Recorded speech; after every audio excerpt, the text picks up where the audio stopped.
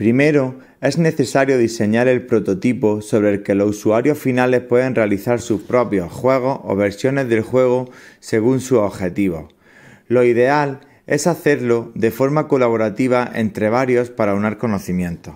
Sobre este prototipo, cada grupo de usuarios realizará su propia versión o juego adaptado al tema que elijan o a sus realidades locales.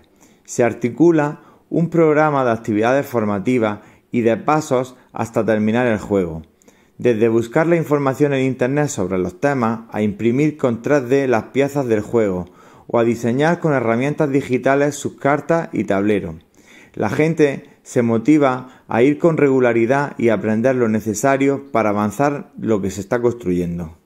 La gamificación permite utilizar estrategias, técnicas y recursos propios de los juegos en el ámbito educativo profesional ayuda a conseguir mejores resultados a través de una experiencia lúdica que propicia la motivación y mejora el aprendizaje. Para que la formación sea una experiencia lúdica hay que facilitar la participación, fomentar el bienestar y las relaciones sociales, adaptar los materiales didácticos al proyecto y al grupo, utilizar metodologías y actividades variadas siendo creativos y recompensas tangibles.